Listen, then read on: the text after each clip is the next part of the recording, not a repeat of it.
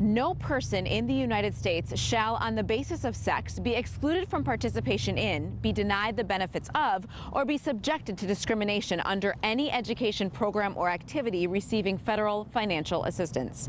That is Title IX. 37 words passed by Congress on June 23, 1972. Met, of course, with resistance, but also opportunity for girls to play the games they love at levels they never imagined. Amy Eshelman was just 10 years old when Title IX was passed, and it didn't take long to realize it was a game changer. I think in elementary school, there was a boys' team and there was not a girls' team. Chicago's First Lady was the only freshman on the 1977 Sterling High team dubbed the Golden Girls, who put together a perfect season on their way to becoming the first girls state champions in the state of Illinois. It was 45 years ago this April, and I remember it like it was yesterday. It felt like our whole town came down state to support us. I still get goosebumps talking about it, and our team gets together and stays in touch. We all felt that it gave us these life skills that we would never have gotten if we hadn't gone through that experience. Melissa Isaacson feels that too, recalling the moments Title IX provided her. I can't really describe the power that you have as a, as a kid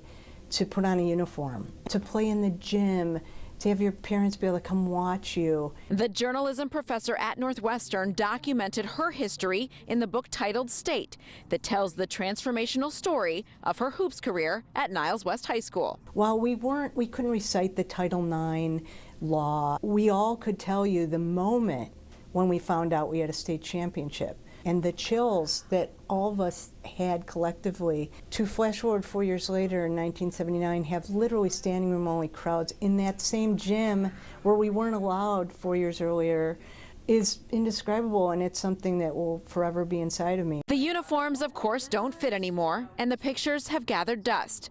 But the opportunity truly changed the course of these women's lives. It made me feel different about myself. It made me see how important it is to be part of a team. I credit basketball and, and sports, organized sports and team sports for giving that to me and seeing a future um, maybe beyond my small little town. The idea that I could one day walk through NFL locker rooms and NBA locker rooms would not in a million years have occurred to me if I hadn't gained that confidence and that um, self-image, and not just winning the state championship, but being allowed to play for it. It's clear the immediate impact Title IX had on women's sports, but this important groundbreaking legislation also addresses other areas of concern, including the discrimination of LGBTQ students, sexual harassment and violence, and the unfair treatment of pregnant and parenting students. And there is still more work to be done. We will continue to cover the 50th anniversary of Title IX in the coming months. Dion Miller, ABC 7 Eyewitness News.